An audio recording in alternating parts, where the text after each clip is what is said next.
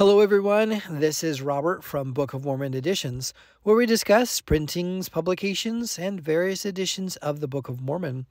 We've discussed paraphrased editions of the Book of Mormon previously, and today we'll showcase one of the first paraphrased editions that created a classic in Book of Mormon commentary and illustration and alternative printing.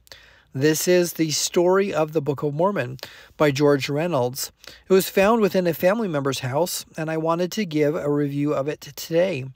This was originally published in 1888 and is actually still in print on demand today. So, George Reynolds was a general authority of the Church of Jesus Christ of Latter day Saints. He was well known uh, as an author and is known in church history as the test defendant for the anti polygamy laws that came in the 1870s. He lost the case at the U.S. Supreme Court and was one of the first church leaders imprisoned for plural marriage. However, he remained faithful and continued to write literature for the Salt Lake Church. Among his works was this volume called The Story of the Book of Mormon.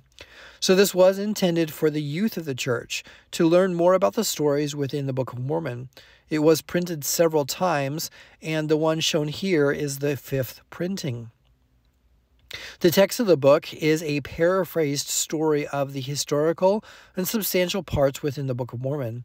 Interlaced among it, Reynolds goes into details on how on the hows and whys of the Book of Mormon story and gives side commentary and evaluation. However, the text follows the chronology of the Book of Mormon enough for it to be considered a paraphrased edition, even if it's in commentary also. A significant feature is that the edition was the first book to have Book of Mormon illustrations list within the pages. This was a new concept within the church, and pictures of Jesus Christ coming to America were not established as mainstream yet. So, stories like the brother of Jared are in the text, and illustrations added to a general concept of the Book of Mormon stories. This text also goes into some detail regarding language and living practices of the people of the Book of Mormon, so it's one of the first books that had an analytical perspective. This blends well with another work Reynolds uh, of Reynolds that came a little later. Reynolds and a gentleman by the name of Jan Sjodahl created a seven volume commentary of the Book of Mormon, and much of the concepts and texts are cross compared to this story of the Book of Mormon volume. I did a video on this seven volume set and encourage that you see this video also. But overall, this story of the Book of Mormon volume is significant because it was a new concept for church readers, created in 1888 with multiple reprints that set some standards in commentary and review for works afterwards.